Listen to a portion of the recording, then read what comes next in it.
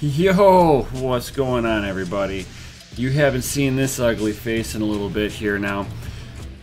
I have some reasons why, and I'll actually explain it here in just a second. Yo! Hey, hey, Universe and mining family. Grab your shovels and your pickaxes. Welcome to the show. I'm Nemisist, and of course, I'm not your babysitter. Do your own research, but let's dig in. Hey, mining family and crypto nation, what's going on? So, like I said, I had some reasons why I haven't been doing any real videos lately. So, if any of you have been paying attention to me doing live streams on decentralized TV, considering that typically, typically, my PC is better than a laptop, hands down except when it's having a temper tantrum. Temp. Oh, oh, that's what grinds my fans, my temps. I'm just saying. So, what ended up happening, guys, is uh, I've got this really, really nice. It's upside down and stuff. Really nice water block. Yo, check this out.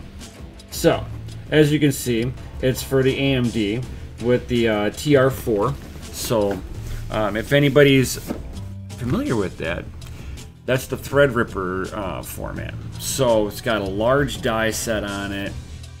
This die set is mammoth. So here, let me check this out with you guys. So this way you guys have a little idea.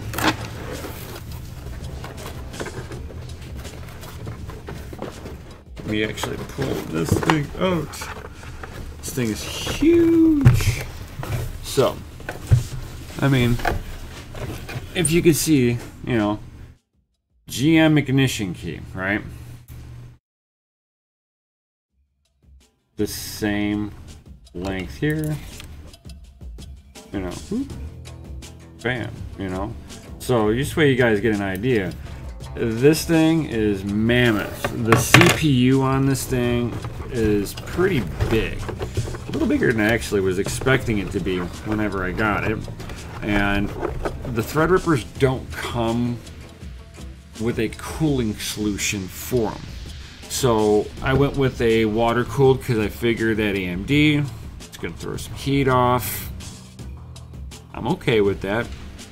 Um, so I went and had a radiator system, um, 140 millimeter fans, two of them optimized cooling. It actually made my case very cool, allowed me to mine on my graphics card in a case that actually had enough airflow in there that I didn't have to worry about my graphics card ever overheating either. Yo, had its own like custom air fan system for for the GPU. Winning. So, unfortunately, this thing didn't last six months. Now, I mind a little bit on it. I'll, I, I'll admit it. Not that much. This thing pretty much was just doing processes of running a server in the background.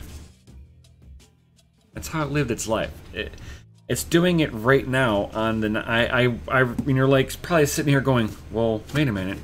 You got your cooler here. You're on your PC. How are you recording this? Well, this was a couple of days ago, so I went ahead and ordered off of Amazon a actual 120 millimeter air-cooled radiator. This way I always have a backup in case my liquid cool ever takes a dump on me again. Um, if, and if there's a better cooling solution for my Threadripper down the road after I've um, pretty much ROI'd on it a little bit, um, so I've got to make recoup the funds from making a behemoth that could do all my videoing, video stuff that I wanted to do with this. Use it as a test rig for checking out graphics cards, how I can push them on this PC, overclocking them, all that good stuff, without ever seeing the upper echelon of its temperature limits because I hate to see high temps. Some people will lean on it until they melt their cards. I've seen it on the internet. I'm not one of those. I like to kind of play with it. You know, you'll, you'll you can you can play with it and you'll see it just start throttling itself, and you're like, ooh, that's too far, just a pinch. We turn it off now. Undo this, back it off. We're good. I started having to like almost turn everything off of my PC when this thing started dying. Now, it didn't make any noise until like a couple of days ago. I got off of work. Everything in my PC is staggering really bad, and I was like, oh my god, what is going on?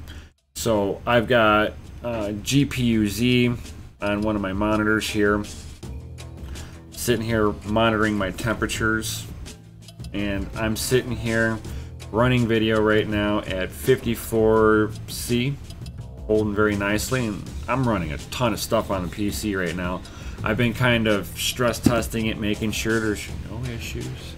I'm kind of thinking this was the issue the whole time, so if you guys have been following me at all on Decentralized TV also, my PC is usually the one we, that me and Mikkel use to do the live streams.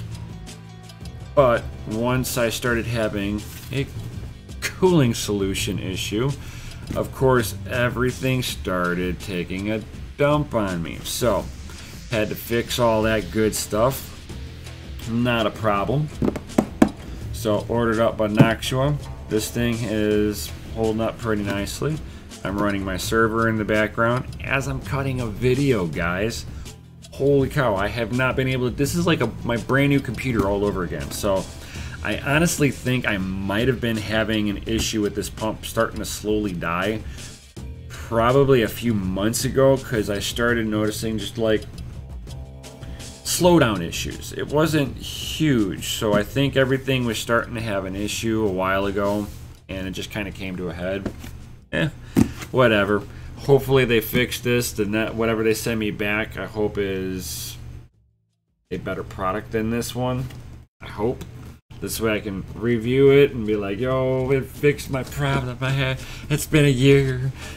the only thing I should be doing on this thing is like rethermal pasting this every once in a blue moon.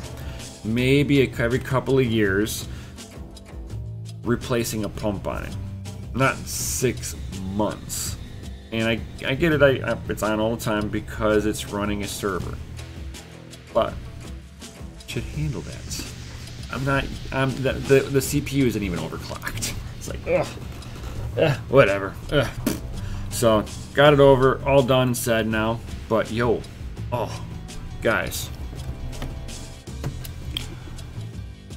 Oh, you know what? I, I'm like sitting here. I'm like half halfway ready for everything that I'm doing. Like I say, I, I, I do these things kind of one take wonders. Uh, so I usually have my ears in, or I try to, because you, you know it's like this way I know what's going on in my video and all that good stuff. But my wife picked up something amazing. Yo, so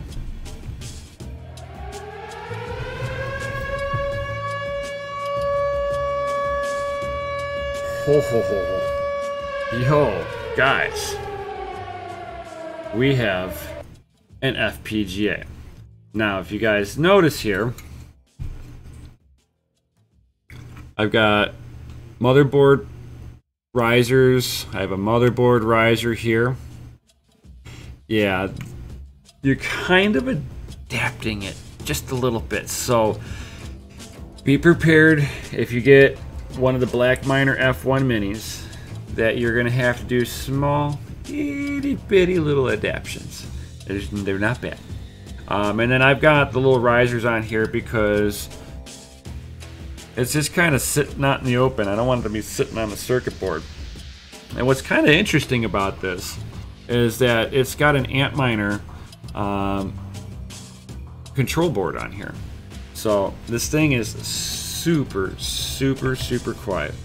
Now, I would sit there and show you guys the interface on this, but it shows too much personal information that I'm, it's just, by the time I block it all out, there's nothing for you guys to really see too much. So, if you guys ever need a hand setting it up. Because I've got it in front of me, I can help you guys set it up too. If you guys ever want a Black Miner F1 Mini. so these things have some pretty cool stuff. So it's like 50 to 60 watts. Not bad. Super, super, super, super quiet. I'm actually quite amazed at how quiet this thing is. And, and I can actually show you here. Boom. Let me show you this. Boom. So, if you see here, I've got a uh, server power supply, so it doesn't need to be hooked up into a motherboard at all which is really nice, uh, by Hewlett Packard. Super cheap. You can run this on 110 or 220. It's just a, a matter of what power supply cable you have. So I've got the uh, one uh, the 110 power cable in here because I've just got it hooked up to the wall out here. And if the uh, my power supply came with uh, six to eight pin Got the 8 pin adapter on here. This only has a single 6 pin on here. And whenever you're putting this on here, kind of hold the clip and kind of open it up a little bit as you slide it on. Uh, don't want to put too much pressure on it and maybe even support the back side of the if you see how I got my thumb, I'm supporting the back side of the plug. This way you're not flexing it on the board whenever you marry the two up. Now, I've already gone through and did a little bit of the, the experimenting with figuring out um, how to truly set this thing up and all that good stuff. And uh, what do I do with my... Oh, it fell on the floor. So I unplugged everything for a moment so that I could show all you people out here. So I can sit here. now, there's a couple of buttons up on here. One is like an IP mode finder uh, right next to the Ethernet cord. I think one is an, a reset button of some sort. And then you have a power switch right next to the power cable. So whenever it came to me, it came to me with the power in off position. So good thing. Always a good thing. Yes. So my power supply with its breakout board here has an on-off switch on it so I can actually turn my power supply on and off separate from everything. So I can go ahead, kick it some power, boom. So shows how much the rails are all putting out, so it should be 12 and a half volts on the rail. And then from here, you just flip the switch, boom. And the thing just comes right on alive. Yo! and it's sitting right next to my mic. Now, typically my mining rigs, you'd be hearing the fans roaring right now with it sitting this close. But the fan speed's really low on this. As you see, it's like this this FPGA with the cooler they recommend is like mostly cooler, so it's definitely staying nice and cool. It doesn't take very long for this thing to actually boot up. Uh, let me go ahead and refresh my own screen here. And um,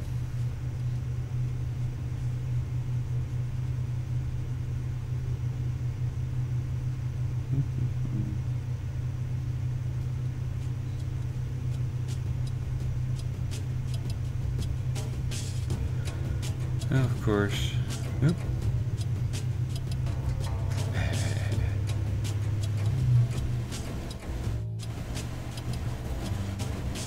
Oh, come on. It's being a butt.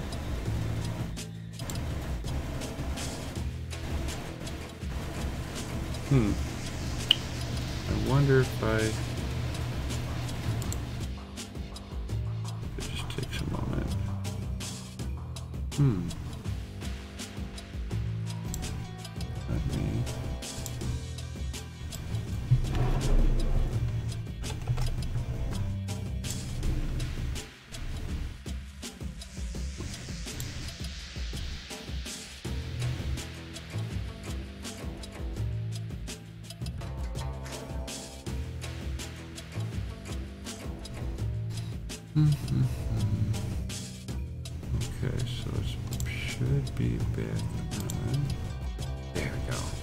It just took it a minute to register back up.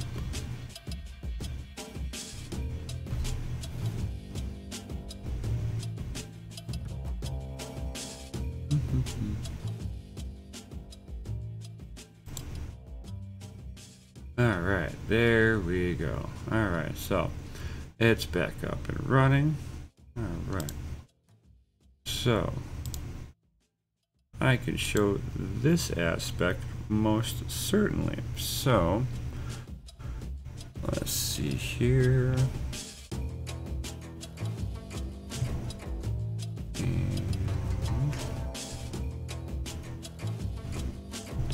this one? Yeah, bam. So this is on the Black Miner F1 screen.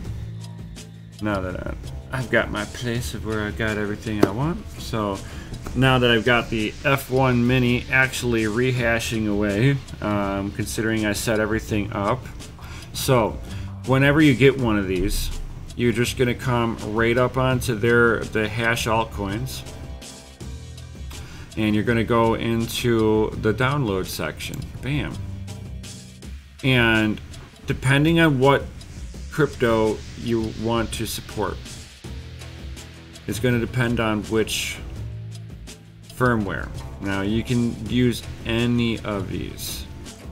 Um, so what I'm on, it just kind of use this one. It's one of the ones that you can utilize on NiceHash, guys, just to make it easy. So if any of you are just using NiceHash, you can certainly connect this into your NiceHash wallet and actually having it mine Lyra2REv3. How's that, guys? Yo! so, if anybody wants to ever get one of these, uh, let me know. Drop some comments in down below. Um, I might be able to hook you up with some um, potential um, potential.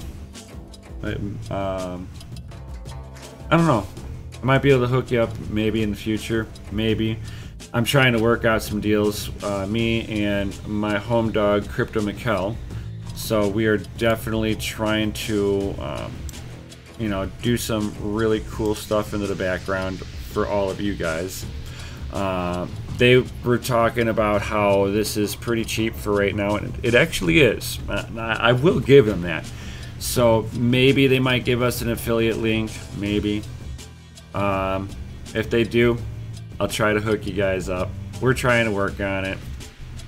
No promises, but definitely if you wanted to, let's say you just had a PC and you're like, well, I, I really can't use one of these. It sounds interesting but if you have a PC, like I said, this is the, the cable that it's use, utilizing. Here, let me show it again. This cable here is the same kind of cable you would use to power up a video card. So that little six to eight pin connector that you can use in your graphics card, you can use in this bad boy and have it mining away. And you can have it sitting off to the side of your PC, running and all you have to do is just make sure that the PC stays on. Maybe you're already mining NiceHash. If you're if you're uh, not and you're interested in it, I have links. Uh, I'll, I'll post some links in down below, most certainly. And um, for anybody who wants to try to start up with NiceHash, very easy one too. And I will also post links to uh, Cudo Miner just in case anybody is looking to try uh, something else other than NiceHash. You know, some some interesting stuff. Um, it's one of my affiliate links, so if you're, you know, if you choose to mine, dude, it helps me out a little bit. You know, I, I have no idea how the calculation really works, but if you go on to Cudo Miner and you sign up, I think you get like 10,000 free Satoshis.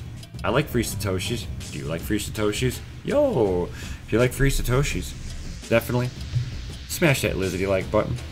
While you're smashing that lizardy like button, guys, definitely subscribe, share these videos with everybody. Yo, that helps me out in the long run. and it helps me spread the knowledge of that Busy Bitcoin. So, I hope you guys, for anybody who's been following me for a while, I hope you understand that my PC was wonking out on me horribly. Horribly. I couldn't cut quality videos. It looked so bad. I just couldn't do it. Um, so until I was able to figure out that it was my cooler dying a very slow and miserable, painful death on my PC, now I can do everything that I was normally doing. Yes. So, hope you all enjoyed this video. If you guys got any questions about the Black Miner F1 Mini, certainly post some comments and questions in down below, guys. And I hope to see you all on the next one. Yo! Peace.